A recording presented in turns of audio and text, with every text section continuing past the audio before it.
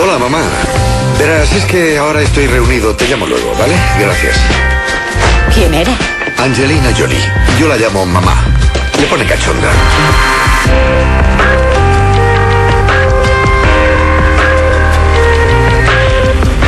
Luis Porcar, muy buenos días. Hola, buenos días, ¿qué hay? La serie se empezó a emitir en el canal Fox cuando empezasteis a, grabar, ¿tú, ¿tú ya imaginabas que iba a ser eh, un éxito como, como está siendo o siempre es imprevisible esto? hombre, no, yo creo que es imprevisible. Yo cuando se hicieron pruebas para la serie, como se hacen para muchas, ¿no? Y para películas.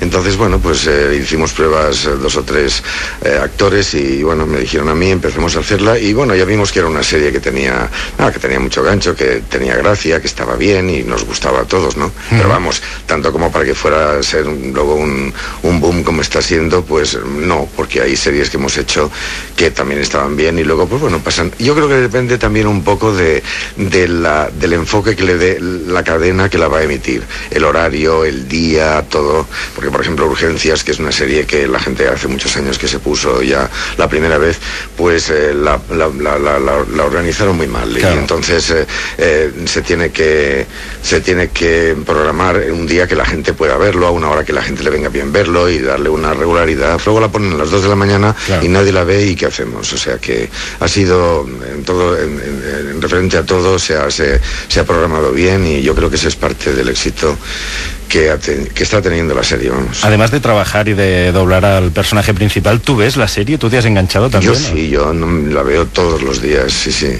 Vamos, todos los días se la ponen, ¿no? La veía en Fox alguna vez eh, y luego ya en el 4 del martes yo la veo porque además a mí me engancha también y me, me río mucho porque me lo paso muy bien. Aparte, nosotros la, la doblamos muchas veces eh, en, bandas aparte, eh, a lo mejor grabas el final, grabas escenas sueltas y no la ves seguida. Entonces, cuando la ves seguida, hay veces que a mí me da la impresión de, no sé, de que no la he visto nunca, ¿no? Porque la estoy viendo eh, con, la continuidad que tiene, claro, el capítulo, y entonces la, veo mejor, no, no, no me la sé, o sea, no, me, no he visto la mitad de las cosas y me gusta, sí estoy enganchado, sí.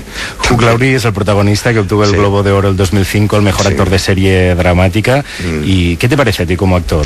A mí me parece un actor estupendo, porque mira, el personaje este no es un personaje tampoco lineal, porque la gente, mucha gente dice, qué desagradable, qué déspota, qué, qué, qué, qué, qué, ácido, qué agrio es, qué, qué desagradable, qué... O sea, pero el personaje no es eso, el personaje es más cosas, ¿no? Y aparte, este personaje tiene, yo creo que hay una, hay una diferencia entre lo que él dice, las cosas que él dice, que muchas veces son ingeniosas y ocurrentes, ácidas, eh, tiene un humor negro que, que, bueno, a mí personalmente me hace mucha gracia, ¿no? Y luego está la, su gesto, es decir, la cara que él tiene sin tener que hablar ni decir nada, tú muchas veces sabes lo que está pensando, yo creo que es el éxito de la, del personaje. Hay una frase que podemos leer de, la gente puede entrar también en 4.com y votar también por cuál es la frase preferida de House de estas frases ácidas que nos comentabas, que parte ya del punto de vista de un médico, dice que no, que no se cree a los enfermos, que parte de la premisa de los enfermos mienten y a él lo que le interesa son las enfermedades. Has, encontrado una, ¿no? Hemos recopilado algunas, seguro que igual Luis la recuerda, es del, del principio de la serie. Eh, él dice, preferiría un médico que le coja la mano mientras se muere o uno que le ignore mientras mejora. Aunque yo creo que lo peor sería uno que te ignore mientras te mueres. bueno, radical, ¿eh? Es realmente es bastante cruel aparentemente, ¿no? Pero realmente es muy, muy crudo, realmente. Pero, pero claro, es, que es verdad. Hay médicos que dicen, eh, a mí me hubiera gustado decir eso, pero claro, no, no se puede decir. Sí, claro, sí, bueno, no sé, me imagino. Es, bueno, también hay que tener en cuenta que es un personaje, hay que tener en cuenta que, que, no sé, que, que, quizá pueda haber alguien que sea así, ¿no? Pero es un, un, personaje que está construido y que, bueno, hay que tomarlo como tal también. Algún otro médico decía, sería imposible que hubiera alguien así porque la cantidad de demandas no, no podría hacer frente, que ya se plantea también en la serie, pero claro. Sí, sí, sí. Eh, el, otro día decía un médico, no sé quién, quién lo contaba allí en la, en la, en la sala que estábamos grabando, que decía que que, había dicho que, claro, no sé si amigo de él o en una emisora de radio, no sé, pero que decía que, claro, que, que, no era posible que un médico tuviera tal cantidad de conocimientos de todos los campos, Para saber exactamente, para saber todo, aunque ellos, cada uno eh, tiene una especialidad, uno es cardiólogo, endocrino, no sé, cada uno de los, de los del grupo, eh, Chase, Cameron, Foreman y tal, eh, pero, pero que es imposible que tenga tal capacidad para tener tantos conocimientos y saber tanto de todas las enfermedades ¿no? Decía un médico, ¿no?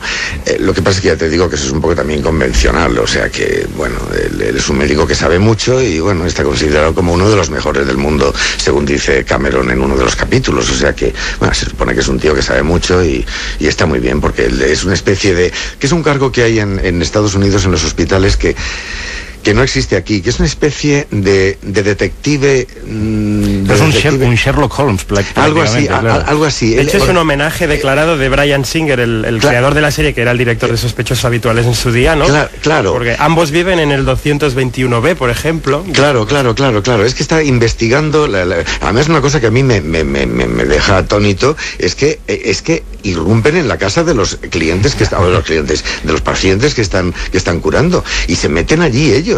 Y yo digo, pero bueno, esto es un esto es un allanamiento de morada. Esto en la seguridad social es impensable. ¿no? sí, se meten allí a ver si hay huellas, a ver si hay ratones, a ver si hay insectos, a ver si con qué limpian. Cuando se está trabajando en una serie de hospitales, pues se sabe que uno, uno de los inconvenientes va a ser los diálogos médicos con muchos nombres técnicos de enfermedades Sí. y medicinas. Vamos a escuchar un ejemplo.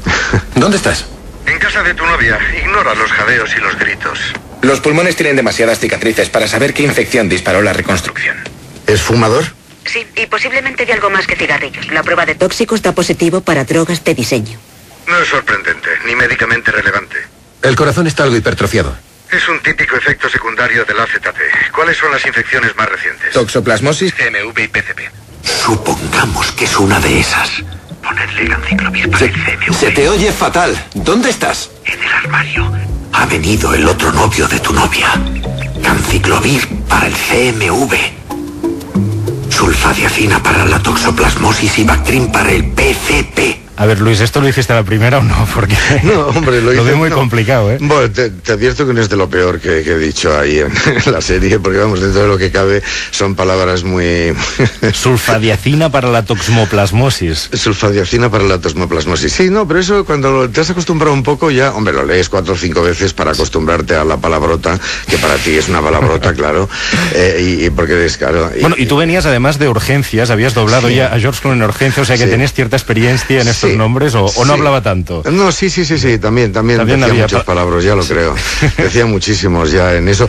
Y yo, yo siempre dicen, esto es como urgencias, digo, yo creo que aquello era peor porque aquí simplemente lo están, digamos que co- co- comentando en el, en el despacho donde sea. Generalmente no hay una urgencia, Claro. una, una, sí, pero en urgencias, claro, como su propio nombre indica, entraban todos, por- porque en la camilla por la puerta y entraban muriéndose a chorros y entonces había que decir todo aquello, pero a una velocidad pasmosa porque el tipo se estaba muriendo. ¿Te reconocen más por el George Clooney de urgencias o por el Doctor House? Te reconocen en general, porque mira, nosotros... Le suena yo- la voz, le suena la claro, voz. Hombre, claro, yo llevo muchos años haciendo esto, ¿no? Entonces ya, pues la gente te, ve- te viene oyendo en cuñas de publicidad, en spots de publicidad, también en televisión, en, en películas, pues en montones, ¿no? Tanto en televisión, en telefilmes, en, en- en series, en yo qué sé, toda la vida. Entonces, claro, la gente tiene tu, tu, tu voz metida en el oído, lo que pasa es que no te conocen a ti.